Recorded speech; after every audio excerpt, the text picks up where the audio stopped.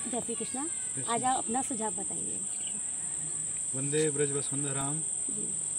ब्रज की जो सेवा है ये ठाकुर जी की ही सेवा है। हम्म, क्योंकि ब्रज में प्रत्येक वस्तु श्यामा श्याम को स्वरूप है।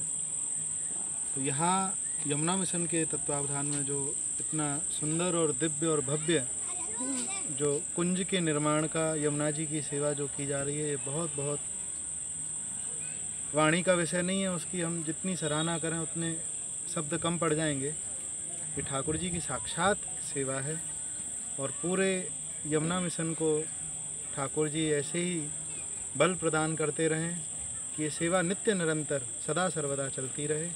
ऐसी शुभकामना है। कुछ दो लाइन दोहा के महाराज जी। वृक्ष जो हैं ये हमारे हित हरिवंश महाप्रभु की संप्रदाय में तो ठाकुर जी के ही स्वरूप हैं, साक्षात।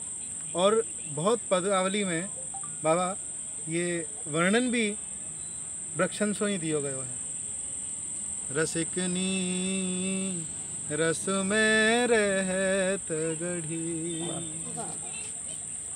रस में रहत गढ़ी रसिकनी रस में गढ़ी।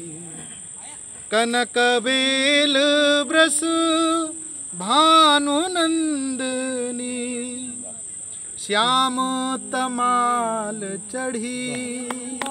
ठाकुर जी जो हैं, वो श्याम तमाल की जैसे हैं और प्रिया जी जो हैं, वो कनक बेल हैं।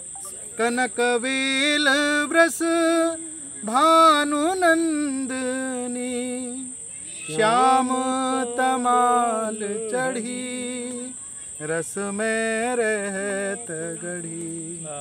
रसिकनी रस में रहत गढ़ी। क्योंकि ये जो वृक्ष हैं, ये रस स्वरूप हैं और हम सबको रस प्रदान कर रहे हैं और रस से ही रास बनता है।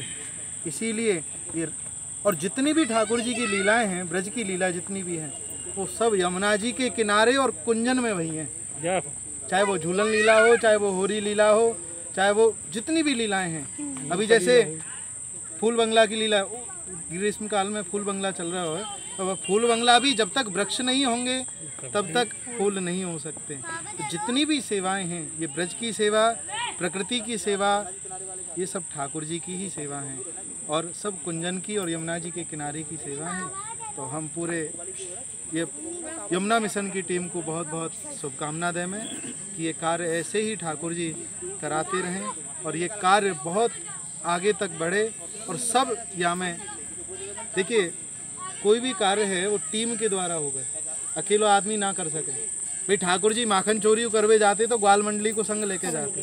तो ऐसे ही प्रत्येक यहाँ जितने भी कार्यकर्ता हैं चाहे वो एक छोटे से सफ़ाई कर्मचारी से लेकर के और चेयरमैन जो साहब हैं वहाँ तक बंसल जी तक ये सब भागीदार हैं और ठाकुर जी सबकी सेवा को देख रहे हैं और सबको अपनी भक्ति अपनी शक्ति और प्रेम लक्षणा भक्ति प्रदान करें। ऐसी ठाकुर जी के चरणन में प्रार्थना।